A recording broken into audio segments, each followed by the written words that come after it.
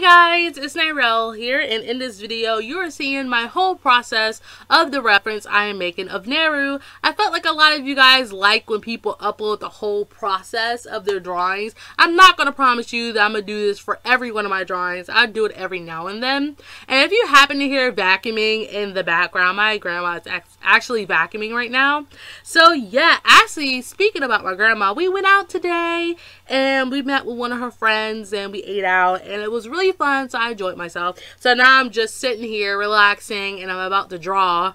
But I figured that I didn't make a video in a while so I figured that I might as well just record one right now. But actually I'm actually redoing the audio for this video because I didn't like the other one. So, like I said, this is a reference of Neru, and I made this because people on Wattpad don't really have references of my characters, so I'm doing this just to help them out. And if you guys want to read my story, head on over to Wattpad. The link will be in the description below, so all you have to do is click it, and you can read the first two chapters that are out now. So, I actually am very sad because I haven't drawn for myself in a very long time. Usually I have videos up every Monday and Friday, but now I don't because I don't have time.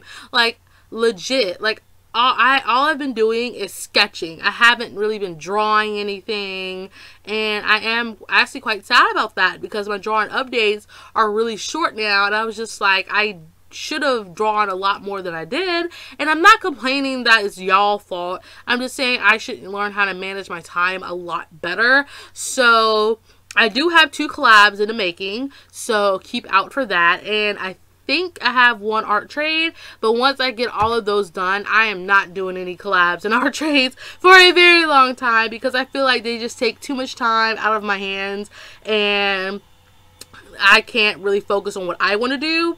So I don't mean this to blame you guys. I just really want to get back into drawing my OCs and getting better with them because I feel like I haven't drawn them in a very long time. So yeah, I've noticed that a lot of you guys are getting out of school. So yay you guys. I hope you have a great summer. I've been having a good one so far. So yeah, I think I'm just going to end the video here because I have nothing else to say as of now.